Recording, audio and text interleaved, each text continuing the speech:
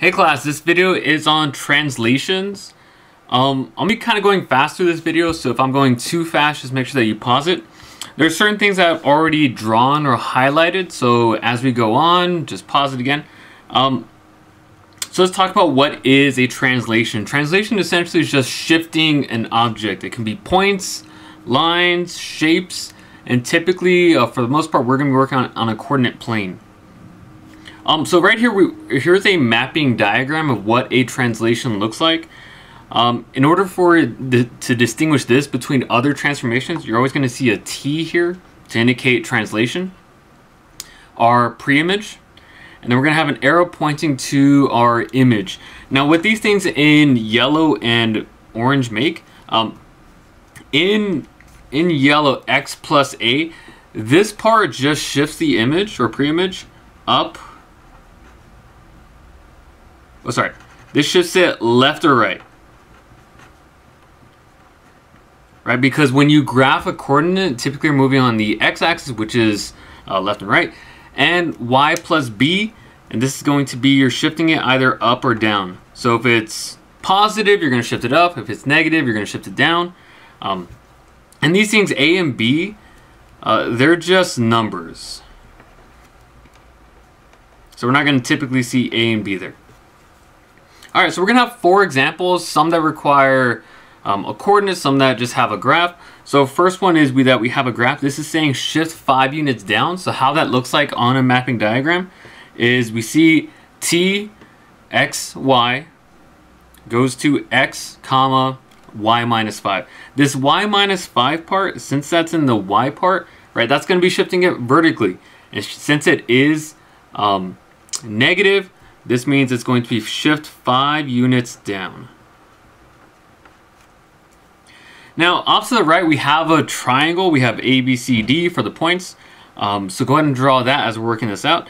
And how we do this is just pick every single point and move it down 5. So I'm going to start with A.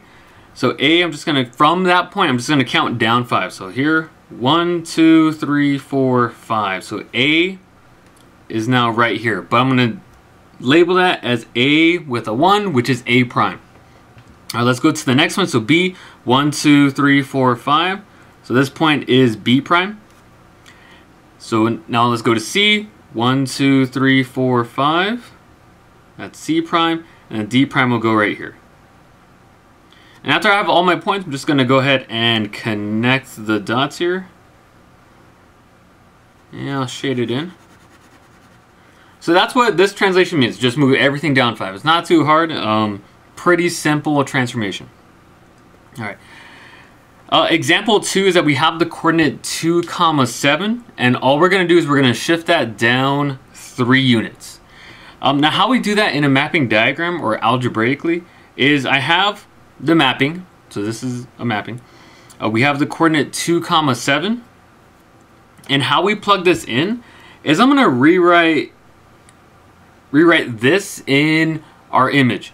Understanding that 2 is x and 7 is y. So I'm going to plug those into this. So instead of writing x minus 3, since x is 2, I'm going to put 2 minus 3. And y is 7, so I just plug in a 7 there. Now for this, there is some simplifying that's going to be involved, right, in the x portion.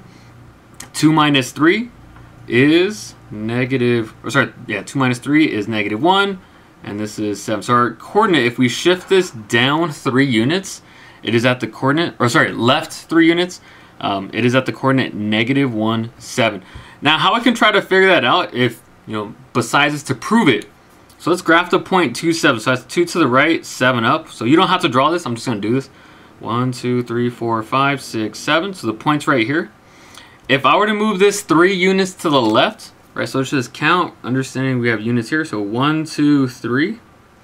So that's our point right there. That is at the coordinate negative one, seven. All right. Um, third example is, is we're going to prove this using both the graph and also our mappings here. Um, this is going to say that we're going to move this triangle RST uh, four units to the right. So that's why I've, I've highlighted that in yellow. So you can know that those two things, x plus four and four units to the right means the same thing. and 5 units up. So that is represented by putting y plus 5. Okay. So first I'm going to do it over here. So I've already written out the coordinates for r, s, t. So r is negative 2 comma negative 2. s is 1 negative 2. And t is negative 2 negative 4. So in our image we have x plus 4 and y plus 5. Uh, I'm going to write that. But again I'm going to replace x and y. So here, I'm just gonna, I'm actually gonna put a plus four in all these x parts because of x plus four. We'll plug in the x part later. And here, y plus five, I'm gonna put in the plus five right now. And again, we'll plug in these values later. So let's start with r.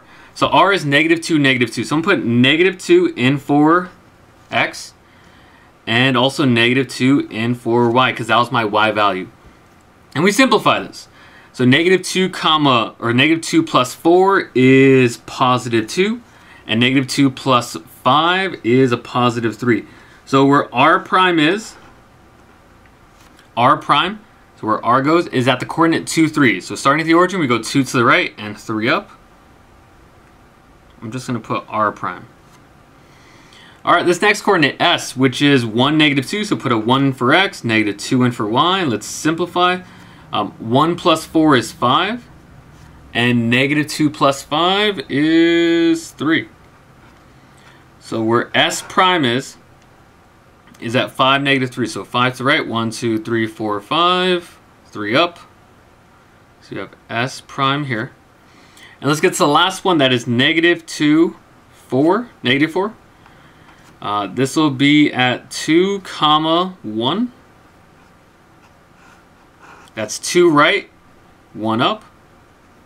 That is T prime. So let's connect all the points. This is, I'll put this in blue. All right, so we get the same thing, or the same object, right? It didn't change shape, didn't change size, it's congruent. Um, so let's actually prove why this is right. So I'm gonna move these points four units right, five units up. Let's see if we get to the right point. So I'll just do this with R. So four units to the right. One, two, three, four, five units up. One, two, three, four, five. Yeah, we get R prime. So all these points, they're in the same um, position, just translate it in a different direction. All right, that's pretty much it. You just plug it in there. And let's get to one last one on the back. Uh, we're just going to change in two different directions. So we have um, shift six units right. That is represented by x plus six. And 5 units down, that is y minus 5. Okay. So here, let's go ahead and put in, and put plus 6 and minus 5. Let's plug in these values for x and y, which is more, more practice. Um, we're going to have 9 in for x and negative 3 in for y. Let's simplify this. Okay. 9 plus 6 is 15. And negative 3 minus 5 is negative 8. Alright guys, that's pretty much it. We get from our pre-image to our image, shifting 6 units right and 5 units down. Alright guys, let me know if you guys got any questions. See ya. Bye.